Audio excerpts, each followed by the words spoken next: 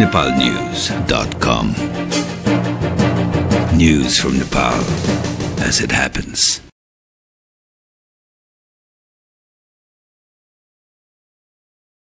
झाडा पखलाको महामारीबाट प्रभावित मध्य तथा सुदूरपश्चिमाञ्चलका जिल्लाहरूमा पुगी उपचार कार्यमा संलग्न भई फर्किएका स्वास्थ्य कर्मीहरूले आज राजधानीमा पत्रकारहरूसँग अन्तर्क्रिया गरेका छन् अन्तर्क्रिया कार्यक्रमको आयोजना एकीकृत जनस्वास्थ्य अभियानले गरेको थियो झाडा पखला प्रभावित क्षेत्रबाट फर्किएका स्वास्थ्य कर्मीहरूले प्रभावित क्षेत्रमा सरकारको उपस्थिति कमजोर रहेको औषधि उपलब्ध गराउन नसकेको महामारी फैलिनुको कारण महामारी नियन्त्रणमा आफूहरूले गरेको प्रयास प्रभावित क्षेत्रको जनजीवन लगायतका कुराहरूमा सरकारको निम्न उपस्थिति रहेको तथ्याङ्क प्रस्तुत गर्नुका साथै अब चाल्नुपर्ने कदमको बारेमा पनि आफ्नो तथ्याङ्कहरू प्रस्तुत गरेका छन्।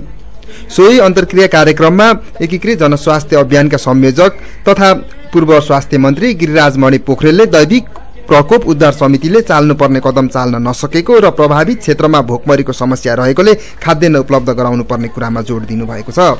साथै उहाँले प्रभावित क्षेत्रमा माओवादी सभासदहरू गाउँ गाउँ पुगेर काम गरेकाले अहिले आएर मृत्यु हुनेको संख्या घटेको दावी गर्नुभएको छ।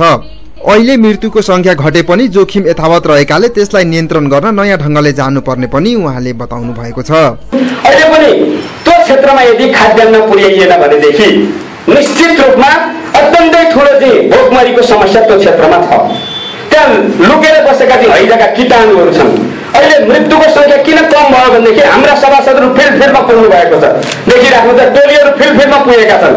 सरकारको वरिपरिका त्यो सरकारी संस्था संस्थामा आएकाहरूको आधारमा मात्रै होइन गाउँ गाउँमा गएर काम गरेका छन्। मृत्युको सङ्ख्या घटेको छ। तर जोखिममा यथावत रूपमा रहिराखेको छ र त्यसलाई कन्ट्रोल गर्नको लागि नयाँ ढङ्गले जानुपर्छ। Bureau report Nepal news dot com.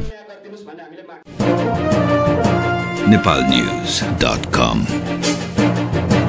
News from Nepal as it happens.